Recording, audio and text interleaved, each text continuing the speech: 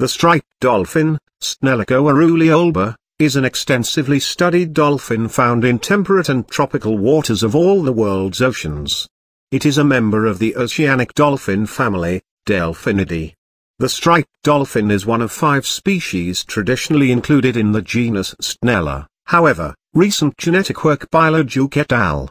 1999, indicates Stenella, as traditionally conceived, is not a natural group. According to that study, the closest relatives of the striped dolphin are the Clymene dolphin, the common dolphins, the Atlantic spotted dolphin, and Tursiops aduncus, which was formerly considered a subspecies of the bottlenose dolphin.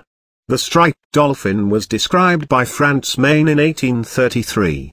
The specific name coeruleoalba, from Latin Caeruleus dark blue and albus white, refers to the characteristic blue and white stripes on the flanks.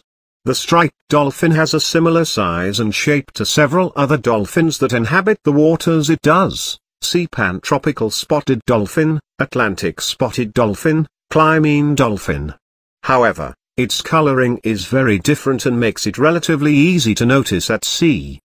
The underside is blue, white, or pink. One or two black bands circle the eyes, and then run across the back, to the flipper. These bands widen to the width of the flipper which are the same size.